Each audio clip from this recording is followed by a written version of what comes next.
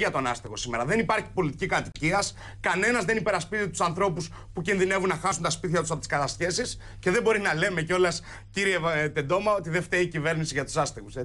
Μια καταστροφική πολιτική στο θέμα της κατοικίας. Σε όλα τα ζητήματα λοιπόν, είτε πούμε κατοικία, είτε πούμε αλληλεγγύη, είτε πούμε καθαριότητα, είτε πούμε αναπλάσεις. Έχουμε μια. Έχουμε... Καθίστε λίγο. Προφανώς φταίει η κυβέρνηση και φταίνει οι ευθύνε τη, αλλά φταίει και ο Δήμος.